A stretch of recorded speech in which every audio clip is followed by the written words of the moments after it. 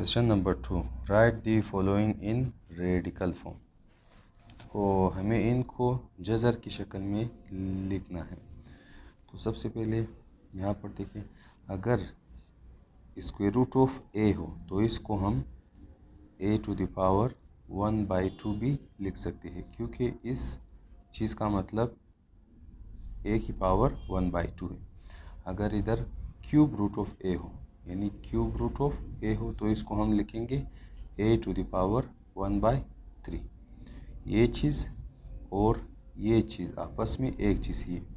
या फिर अगर फिफ्थ रूट ऑफ़ ए हो तो इसको हम a to the power one by five भी लिख सकते हैं।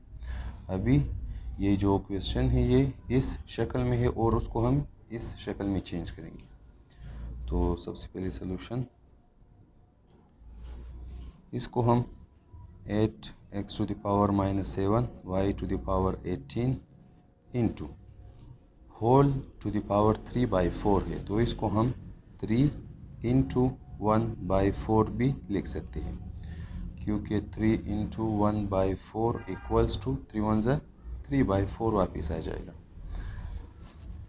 तो अभी eight x to the power minus seven, y to the power eighteen, whole to the power three को हम वैसे ही वैसे ही लिखेंगे और वन बाई फोर की जगह हम फोर्थ रूट लिखेंगे। तो ये fourth root of eight x to the power minus seven, y to the power eighteen, whole to the power three. यही हमारे पास आंसर है। अभी पार्ट टू। इसी क्वेश्चन का पार्ट टू हमारे पास है। Thirty two, whole to the power zero point six solution तो इसको हम 32 whole to the power zero point six. अगर इधर से हम पॉइंट को हटा दें तो हम इसके नीचे वन लिखेंगे और पॉइंट के बाद सिर्फ़ एक ही डिजिट है तो हम एक ही सिफर लगा देंगे। या फिर इसको हम अगर कुछ साफ़ लिखे तो 32 two to the power six by ten होगा। तो टू थ्री ज़ा सिक्स टू फाइव ज़ा टेन तो इसको हम thirty two to the power three by five लिखेंगे। फिर इसको हम thirty two to the power three multiply by one by five भी लिख सकते हैं। और उसके बाद वन बाई फाइव को हम फिफ्थ रूट की शक्ल में लिखेंगे। तो fifth root of thirty two to the power three यही हमारे पास आंसर है। Part three sixteen to the power minus zero point two five solution इसको हम sixteen to the power minus zero point two five अगर इधर हम point को हटा दे तो इसके नीचे वन आ जाएगा और पॉइंट के बाद सिर्फ़ दो ही डिजिट है तो हम दो बार ज़ीरो लिखेंगे। या फिर इसको हम sixteen to the power twenty five minus twenty five divide by hundred भी लिख सकते हैं। तो ट्वेंटी फाइव वन ज़ा twenty five twenty five four ज़ा hundred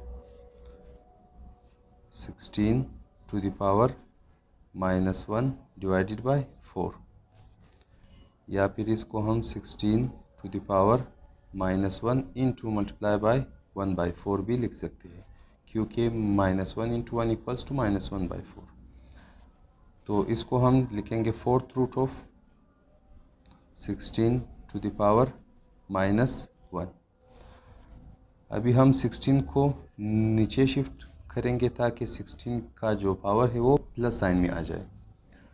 तो fourth root of one by sixteen to the power plus one या सिर्फ़ सिक्सटीन लिख भी लिख सकते हैं। यही answer part four eighteen to the power one point five solution इसको हम eighteen to the power one point five अगर हम पॉइंट को हटा दें तो वन और पॉइंट के बाद सिर्फ़ एक ही एक ही डिजिट है तो सिर्फ़ एक ही zero equals to eighteen to the power fifteen divided by ten तो फाइव थ्री ज़ा फिफ्टीन फाइव टू ज़ा ten equals to eighteen to the power three by two या फिर इसको हम eighteen to the power three multiply by one by two भी लिख सकते हैं. Equals to eighteen to the power three square root one by two को हम स्क्वेयर रूट की शक्ल में लिखेंगे। यही आंसर